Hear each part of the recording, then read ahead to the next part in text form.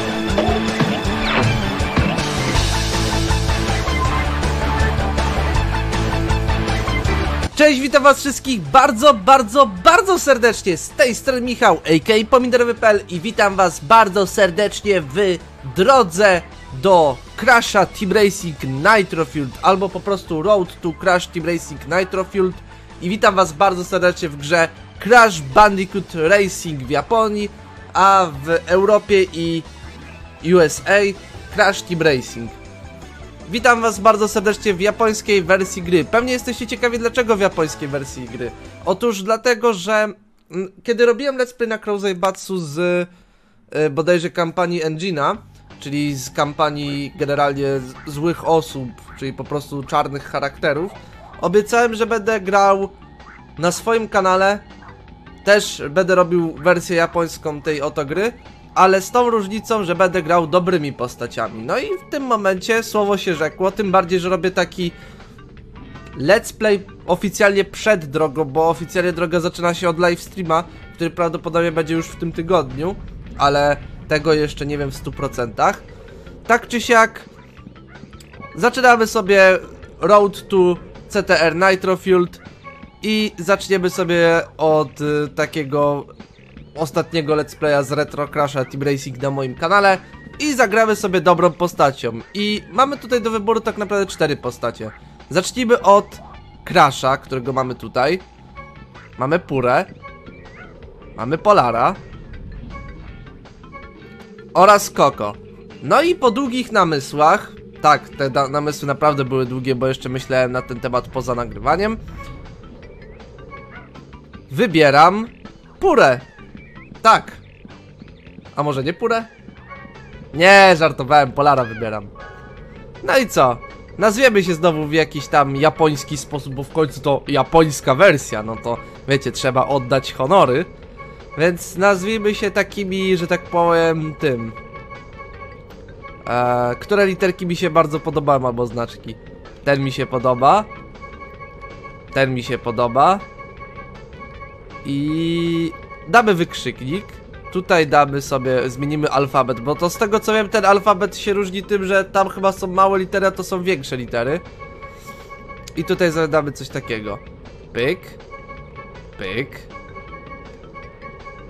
Pyk. Eee, gdzie jest ten taki iksik? On chyba tam był na poprzednim tym. Dobra, never mind. No dobra, damy sobie tutaj taki iksik. I czy coś jeszcze chcę dać? No dobra. To... A, już nie mogę dać. No dobra, to tyle. Teraz w komentarzach możecie zgadywać, jaką so, jak se save nazwałem. Oj, masakra. Gram w ogóle przy okazji z tego mniejszego monitora, nie? O, będzie cutscenka. おおよく来たのよいかここでテクニックを磨くのじゃ あんなヘナチョコなエイリアンには負けるでないぞよ。画面右下のマップじゃがな。その上にある丸い印がコースの入り口じゃ。チカチカ点滅しているのが入れるサーキットじゃ。行ってみるがよいぞ。サーキットに入るときは丸いワープ床に乗れば OK じゃ。1着でゴールすると優勝カップがもらえるぞよ。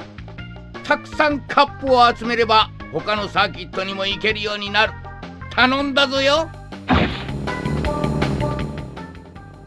No cóż, to był Aku Aku, oczywiście standardowo on musiał sobie coś tam swojego powiedzieć. No i dobra, mamy tutaj niedziałający warp pod. Tutaj jest taka mała mini ciekawostka, otóż Japończycy, a raczej Naughty Dog wydając japońską wersję, nie wiem czy oni zapomnieli zaprogramować tego warp pada, bo jak wiecie, oryginalnie, tutaj się prawdopodobnie pojawi screen, tu ten portal w normalnych wersjach Crasha Team Racing czy to w wersji europejskiej, czy to w wersji japońskiej, zawsze, ale to zawsze był ten kluczyk z XM1. Co on oznaczał? Oznaczał to to, że musisz mieć jeden kluczyk, aby odblokować ten oto warp pod. Nie wiem czemu w Japonii oni o tym zapomnieli, ale nie obchodzi mnie to tu już szczerze trochę. Więc no dobra, zrobimy sobie jeszcze tak z dwie podpowiedzi Akuaku. W sumie w tym let's playu będzie można zrobić wszystkie podpowiedzi Akuaku, bo why not? Czemu by nie? Jak to zrobiłem na Krausebatsu, to czemu nie miałbym tutaj tego zrobić? Dobra, lecimy z koksem. ここから先へはボスの持っている鍵が必要なのじゃまず4つのコースを全部1着でクリアしてそれでもってボスと戦って勝つことができれば鍵はお前さんのもんじゃ なにお前さんならちょちょいなパーじゃよ No, czyli tutaj Aku Aku między innymi mówił nam o tym, że aby pojechać za tą bramę potrzeba jednego klucza. Coś, co my raczej wszyscy wiemy. No i dobra, w sumie dalsze podpowiedzi już będzie pod... Dalsze podpowiedzi będą podczas e, gierki, więc bez zbędnego przedłużania lecimy na naszą pierwszą trasę Crash Cove.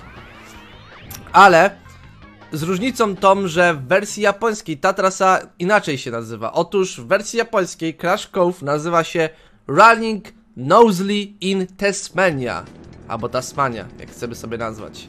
Dobra. Lecimy z koksem. Ło! O kurde, ty, mogę już normalnie tym, analogiem grać, ale fajnie. Ty, to ja nieźle tego pada musiałem skonfigurować, ej, ale fajnie. Bo o co chodzi? Ja tutaj miałem taki problem, że gdy wcześniej poza nagrywaniem odpalałem emulator, to nie chciał mi wyłapać gałki analogowej, a teraz jak najbardziej wyłapał. Więc mam powody ku radości, że tak powiem. I ogólnie nie chwaliłem się wam, ale pada, którego kupiłem to jest Shogun Tracer, tak? To jest powiedzmy ten sam Shogun, który miał bio, bio tylko że ta lepsza wersja, że tak powiem. Bo spójrzcie sobie na to. On ma tutaj takie białe te przyciski. A u Bio były chyba z tego co wiem normalne. Chociaż nie chcę tutaj, że tak powiem, podważać tego co tam Bio miał. No i dobra, w sumie ta mapa ma dwie ciekawostki, więc w sumie mogę o nich opowiedzieć, bo też i będę mówił w Let's Playu z Nitro Fuelda, bo tak, będzie i livestream i Let's Play jeszcze z Nitro Fuelda, jak wyjdzie, tak więc będzie dużo crasha w tym roku, tyle wam mogę powiedzieć.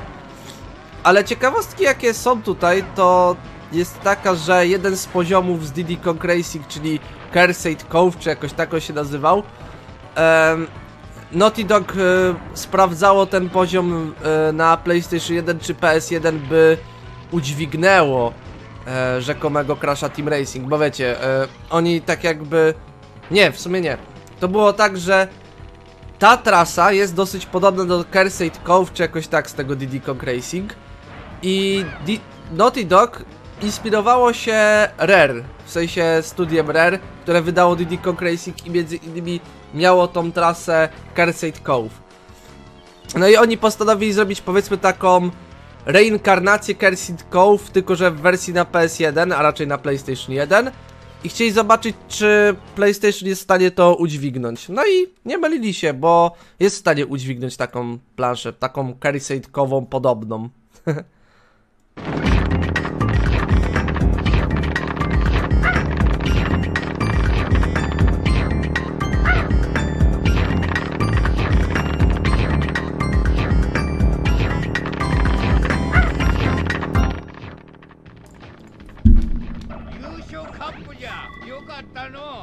Bardzo dobrze, mamy pierwszą trofkę.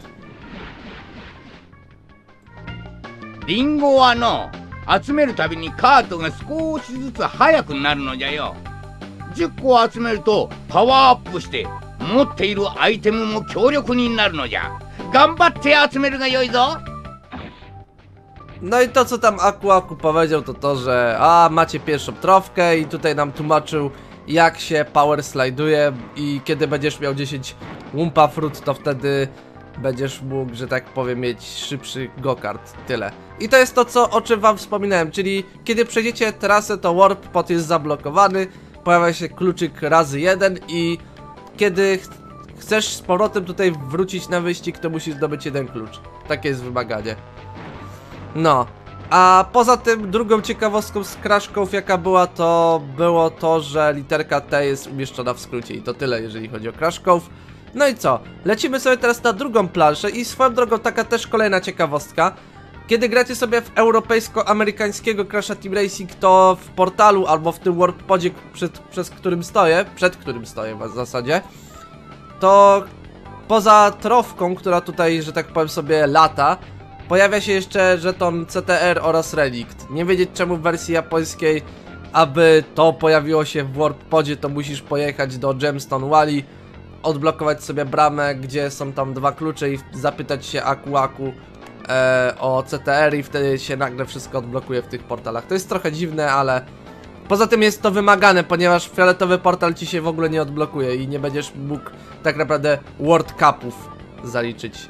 Ale czy nie World Cupów, tylko Gem Cupów. Dobra, lecimy z koksem. Czas na kolejną trasę, czyli Rose Tubes lub w Japonii nazwana jako Undersea Tunnel of Bones. Bones, przepraszam najmocniej za przekręcenie.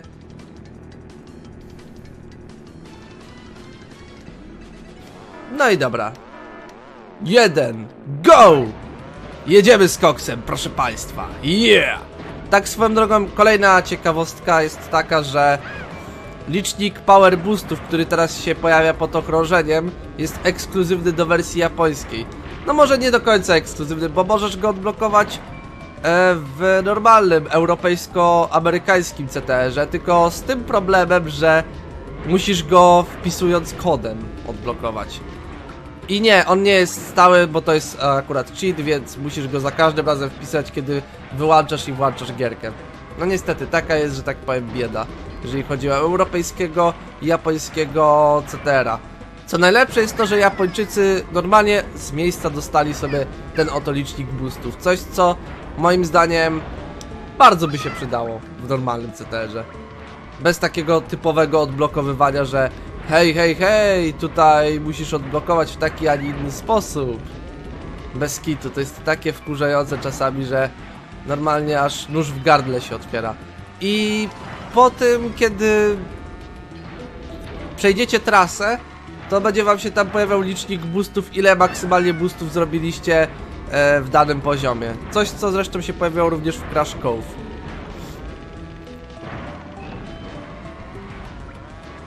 Ja wam powiem szczerze, ja się już nie mogę doczekać Nitro Fielda. Ja się tak jaram, że aż mówię, mu muszę sobie zrobić powiedzmy takie Road to CTR Nitro Field. Dlaczego powiedzmy? No bo to jest taki let's play, który ten w sensie co teraz oglądacie to jest taki let's play, który oficjalnie jeszcze nie zaczyna drogi, bo dopiero droga zaczyna się od live streama. Ale tak przed drogą można sobie ograć japońskiego CTR, czemu nie? Albo będę ogrywał japońskiego CTR i już zaczynał drogę, tak też można zrobić. Why not? To nie jest szczerze żadna przeszkoda.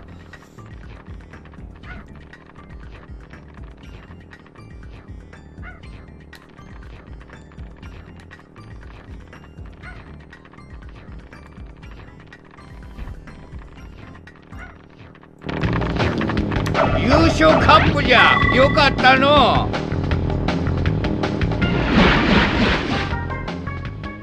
運悪く爆弾箱をかぶってしまったら L1R1 ボタンを連打連打じゃ。何度もジャンプしてドカーンと爆発する前に箱を振り落とさねばならんの。桑原桑原 No, no to tam Akuaku teraz wspominał o odnośnie TNT, czyli innymi słowy, kiedy macie TNT, w sensie kiedy oberwiecie TNT, to musicie wciskać L1 i R1, żeby zrzucić to z siebie. To jest taka kolejna podpowiedź od Akuaku, którą trzeba było wytłumaczyć. A my za ten czas, no co? Będziemy tutaj przy poziomie Mystery Case, który w remake'u CTR-a miał tutaj taką górę, gdzie Reaperu na niej się kampił i potem spadł. Zresztą tak jak raczej oglądaliście mój materiał odnośnie Adventure Mode, który został, że, że tak powiem, udostępniony i dosłownie zakochałem się na nowo w tej gierce. Dobra, Mystery Case, czyli poziom numer 3. Ale w wersji japońskiej ten poziom nazywa się Iron Factory of Turtles. I dobra, jestem w stanie wszystko zrozumieć, ale gdzie tu jest kurde Iron Factory, czyli żelazna fabryka albo fabryka żelaza? Bo ja tutaj póki co, tak z mojej perspektywy, jak teraz widzę tą trasę, to ja sobie tak myślę, że to jest bardziej taka, nie wiem, świątynia gdzieś głęboko pod ziemią gdzie turyści praktycznie kiedy wejdą tutaj, to zaczną się, że tak powiem, topić, bo jest tutaj ekstremalnie gorąco. Żółwie akurat nie, nie będą ofiarą tego incydentu z jednego powodu, że żółwie po prostu mają skorupę, więc w jakiś tam sposób są w stanie przeżyć. I taka też mini ciekawostka, jak widzicie TNT w tej gierce w wersji japońskiej Crasha Bandicoota, ogólnie to w całej serii Crasha, e, ma zamiast napisu TNT taką bombę. Co jest dosyć ciekawa sprawa. O kurde, a co tam się stało? Aha, pewnie ktoś tam e, ten na Cortexa. E, na Cortexa pewnie ktoś tam zrzucił miksturkę z czerwonym tym. Z tą burzą w sensie, wiecie, że tam jest taka czerwona miksturka i ona powoduje burzę nad głową. Burza mózgów tak zwana. o Jezu, moje gardełko. Chyba Grey, Grey mnie dobrze słyszycie, bo tak w miarę wyregulowałem głośność.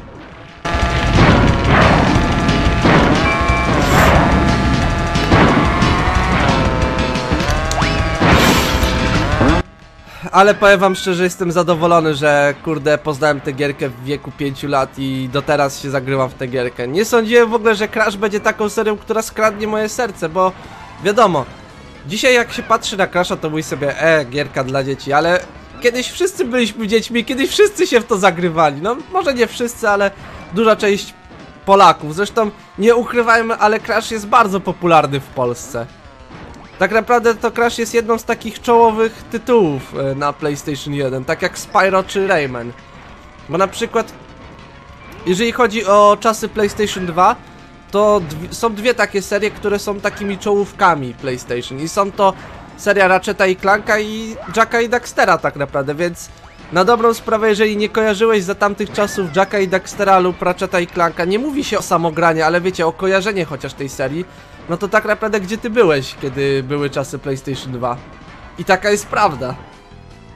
Z ładnym czasem ok- ten, zakończyliśmy, że tak powiem sobie nasz poziom, że w sensie Mystery Caves i mamy 122 boosty, a raczej power boosty. Jak zauważyliście też były różne ikonki postaci, w sensie takim, że niektóre ikonki postaci uległy zmiany w wersji japońskiej.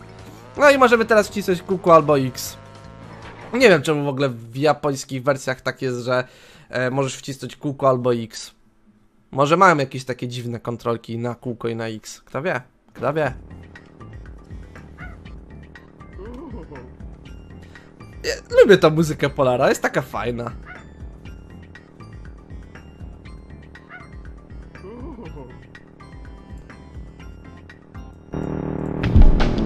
Yusho Kapuja! Yokatta no!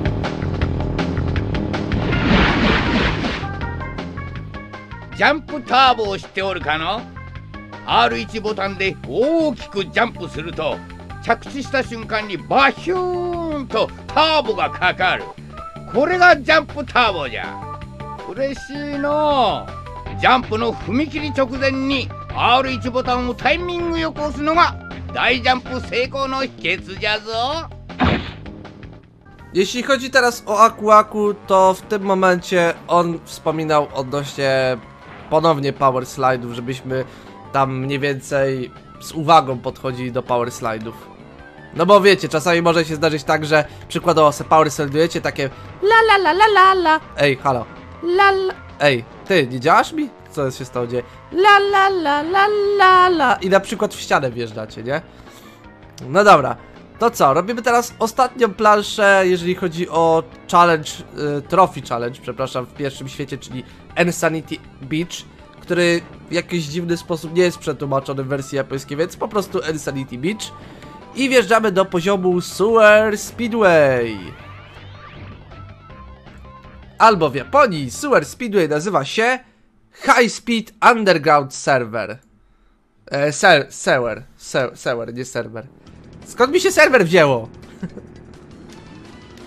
No i dobra, ominąłem sobie już tą pokazówkę i jedziemy w ostatnią trasę, która jest moją najulubieńszą trasą, jeżeli chodzi o Insanity Beach. Z jednego względu.